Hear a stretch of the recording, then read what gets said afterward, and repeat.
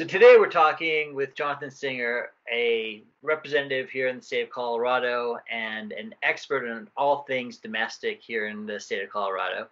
Uh, Jonathan, talk to me about rent. Well, thank you. And uh, I'm an, enough of an expert to know that I'm not an expert in everything. Um, so, so first of all, I, I, don't know when this is actually going out, but this is really important for people to, to hear, both on, on the landlord and the rent side of things. Um, is that the state created a rental assistance fund? It's $20 million, and those dollars come from the federal government. They need to be spent by the end of the year.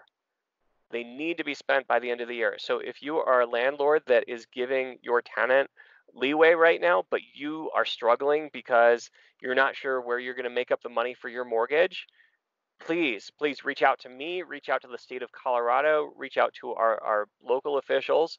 Um, this is the time to do something. If you're a renter and you don't know how, how much of your lease you're going to make up, same thing. Please reach out. This is the time to do that. Uh, we've got to have a roof over everyone's head. In the era of COVID 19, I before the era of COVID-19, I said housing is healthcare. And even more so in a pandemic, housing is not only healthcare, but it actually keeps other people safe too. And so, um, so I, I'll just start out there by, by saying that because that is so important.